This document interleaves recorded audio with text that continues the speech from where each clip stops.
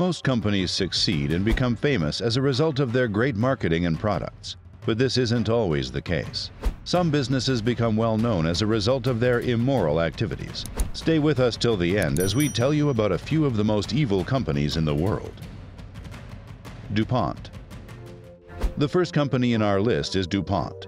DuPont has been rubbing C8 in the faces of its employees for years. The company uses perfluorooctanoic acid, or PFOA, in making Teflon nonstick pans, Gore-Tex, and other slippery waterproof substances. The material is inexpensive but incredibly harmful to consume. It even has the potential to cause cancer. In 1953, DuPont began dabbling in the Teflon market by purchasing huge quantities of PFOA from 3M Company. Despite tight instructions from 3M on how to dispose of materials or treat it as chemical waste, DuPont managed to dump hundreds of thousands of pounds of C8 into the Ohio River and bury another 7,100 tons in unlined sludge pits. This occurred as a result of a complicated, almost surreal series of events. Oddly enough, DuPont did not believe 3M's claim that C8 was dangerous. On the contrary, they began a four-decade-long series of tests to prove it. Firstly, their scientists discovered in 1961 that the substance made rats, rabbits, and dogs' livers grow larger. In the 1970s, they noticed that the workers at their Washington Works facility had high levels of C8 in their blood. Then the chemical was discovered to cause birth abnormalities in rats in 1981. Even at that point, they made the decision to proceed forward with human trials. Corporate scientists kept an eye on seven pregnant employees in DuPont's Teflon section. Two of them had babies with eyesight problems. In 1984, DuPont discovered that C8 was spreading far more widely than they had anticipated. The fine powder could be found well beyond their property line, as well as in the water supply of the nearby areas. By the 1990s, they had discovered that C8 is linked to a variety of malignancies. However, because DuPont's Teflon business was worth billions of dollars, they continued to use it. C8 causes a wide range of health problems, from cancer to high cholesterol, pregnancy issues, thyroid illness, and ulcerative colitis in people. Then in 2012, as a result of seven-year research conducted by third-party scientists, the products using C8 were banned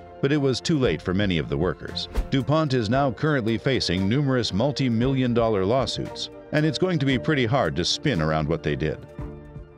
Dow Chemicals Dow Chemicals has been producing hazardous chemicals that have been harming the environment and human health for years. The company is the parent firm of Union Carbide, which was responsible for the Bhopal gas disaster, which resulted in the deaths of almost 500,000 people due to toxic chemicals. It was the worst industrial tragedy in history, and the compensation paid was zero dollars. The company's CEO is now dead, but following the horrific tragedy, he fled India for his home nation of the United States, and he was never extradited to face trial in India due to his strong lobbying in the United States. DuPont is currently facing a slew of multi-million dollar lawsuits, and it'll be difficult to justify what they did.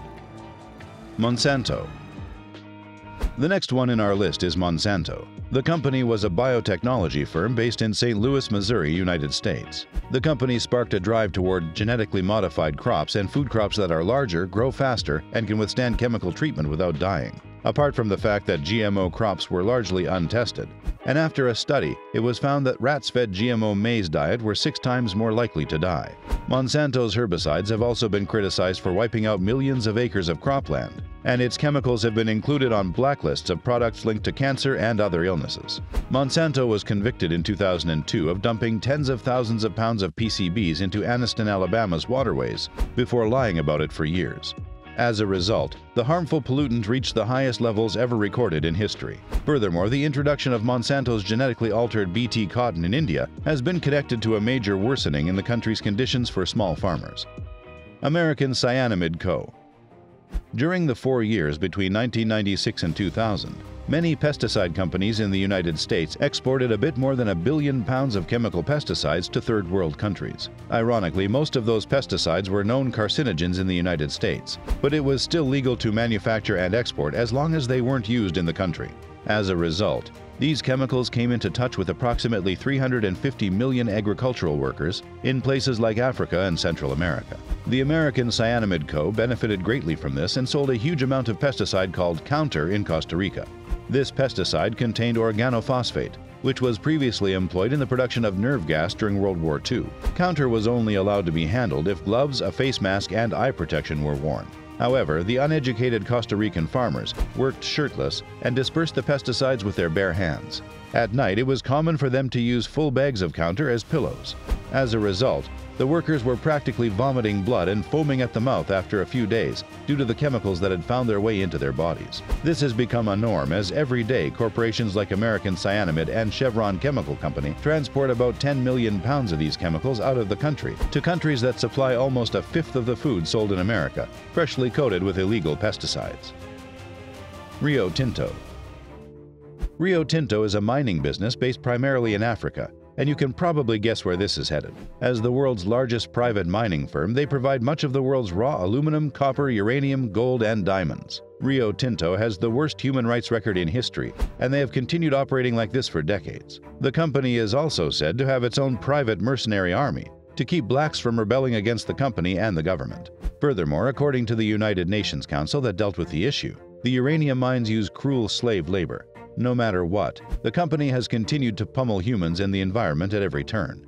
In 1981, it was discovered that workers at one of its Canadian uranium mines had been exposed to radiation levels more than seven times the legal limit for years. They have tortured and killed opponents of their gold mines in Indonesia. In addition, an ex-security guard at their gold mine in Brazil disclosed in 2000 that security personnel were encouraged to use violence in order to keep the miners calm. All in all, it's essentially a form of modern-day slavery.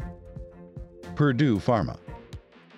The next one on our list is Purdue Pharma, the manufacturer of OxyContin, which was the first widely prescribed extended-release opioid medicine. Over the years, Purdue earned more than $30 billion in opioid sales, enriching the Sackler family who owns the corporation. However, since 1999, overdoses from these prescription painkillers and illegal narcotics like heroin and fentanyl have claimed the lives of around 450,000 people in the United States. As a result of these fatalities, 2,000 lawsuits have been filed against the pharmaceutical manufacturer, aiming to make opioid manufacturers and distributors pay for the harm they caused. Consequently, the Sackler family then filed for bankruptcy to discuss and settle the thousands of claims filed by U.S. citizens. In view of such demanding evidence, Purdue pleaded guilty to criminal charges for misbehavior with its opioids as part of a settlement with the Justice Department, and agreed to pay more than $8 billion in fines, the majority of which will go unpaid. The company's owners just paid $225 million to resolve legal claims and were not even criminally charged. Nestle. The last one on our list is Nestle the world's leading food and beverage corporation, has long demonstrated a commitment to improving people's lives and contributing to a healthier future. It has, however, been a part of a slew of scandals including slave labor, starvation, and potentially harmful formulations. The global corporation is also one of the most boycotted companies in the world, following reports of labor rights violations at its factories in several nations. Since its inception in the 1970s, Nestle's entire philosophy was honorable and humanitarian. It was designed to be a breath of fresh air for newborns whose moms were unable to breastfeed them, and by all accounts it succeeded. However, because their target audience was so limited in contrast to the general population, they needed to find a means to grow, and in order to do so, they had to contend with fierce competition. As a result, a massive effort was launched, with medical professionals engaged to not just recommend Nestle formula as a viable option, but also to smear breast milk's reputation. Salespeople were outfitted in medical garb, and whisked off to less educated and underdeveloped parts of the world, such as Africa, to shout their products' praises. As a result of this, malnutrition was clearly on the rise, and because the majority of Africans at the time were illiterate, they were hit the hardest by it. Apart from the fact that the milk formula was nutritionally deficient, the water in most African countries was filthy, and instead of the company instructing the doctor sent there to teach the locals to boil the water before using it, the company slapped the instructions on the container casually, knowing full well that the majority of the people couldn't read. This was clearly done to avoid a lawsuit rather than because they cared about their customers. These actions resulted in a number of newborns becoming ill and dying, particularly in Africa. This grew to a point where the Nestle executives were summoned by the Senate in 1978 to explain themselves, with their explanation being that they did write the instructions on the back of the container. This was one of the reasons that prompted the United Nations to prohibit firms from attempting to equate their infant formula to breast milk. Despite its murky past, Nestle remains the world's largest food manufacturer and employs more than 300,000 people, along with operating almost 380 factories in more than 190 countries. Even though the CEOs have freely confessed that 60% of their products are unhealthy, the public still loves the brand unconditionally. Well, that's it for today's video. We hope you enjoyed the content of the video. If you did, show some love and hit that like button, and don't forget to subscribe to our channel so that you never miss out on any of the amazing videos we have in store for you.